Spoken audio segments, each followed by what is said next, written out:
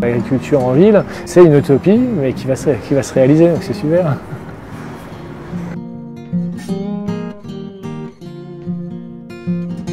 Kian Fradin, je suis directeur général de l'association Espace depuis euh, sa création il y a 25 ans. C'est un collectif d'habitants qui a créé Espace autour de la fermeture des usines Renault à Boulogne-Billancourt avec une double vocation, donc à la fois créer des emplois pour des personnes qui n'en avaient pas et euh, inventer les nouveaux métiers d'écologie urbaine.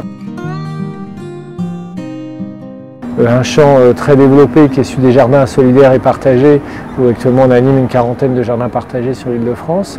Et puis l'agriculture urbaine qui démarre, le site où on est ici, et quelques autres sur donc la productivité et la, production de l'agriculture en ville.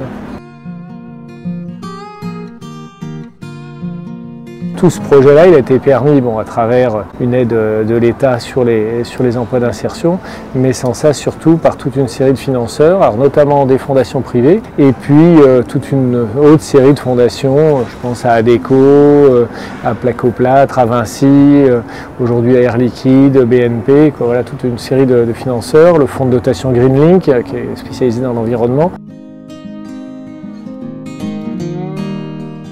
Ça varie pour l'instant, on ne sait pas encore cette année. Grosso modo, on a été il y a deux ans sur les 400 mètres carrés, on est monté à 2 tonnes de production, dont 1,2 qu'on a réussi à vendre. L'année dernière, ça a baissé un peu, c'est une très très mauvaise saison. On était autour de, je crois, de 1 tonne 6 euh, l'année dernière.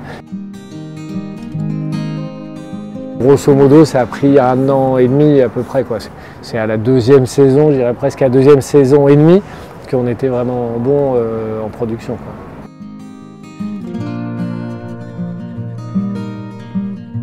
Le grand champ de dépenses, ça a été l'arrosage automatique. Donc l'autre aspect, c'est l'accessibilité des terrasses. Un site comme ça, il n'a pas été prévu du tout pour l'agriculture urbaine, donc il n'est pas accessible en termes de logistique. Là, ici, on a des aménagements et on vient donc d'aménager euh, une grosse, grosse passerelle avec l'aide de la Fondation Veolia et de Vinci et du Conseil régional. Doit être une terrasse sur un immeuble, je vais dire, en hauteur où il y a juste un escalier en colimaçon pour y aller. Ben voilà, c'est pas, pas faisable. On trimballer des cajots, des pelles, des pioches euh, dans l'ascenseur, si c'est un ascenseur euh, d'une copropriété ou de bureau, bon, c'est compliqué, c'est voire interdit.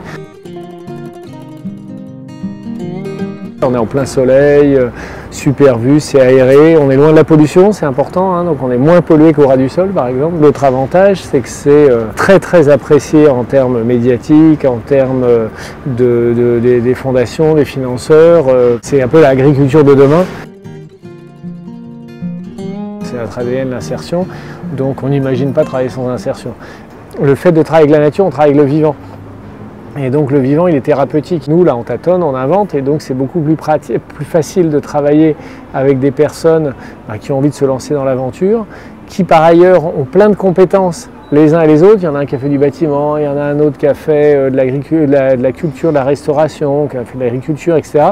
Donc toutes ces compétences-là associées vont faire qu'on a des équipes en fait super riches et avec 25 euh, compétences. Et puis on est sur des, avec des personnes qui, euh, voilà, qui, qui, qui, qui se donnent, je pense, particulièrement du cœur à l'ouvrage sur le projet parce que bah voilà, pour elles, c'est un, moment de leur vie important.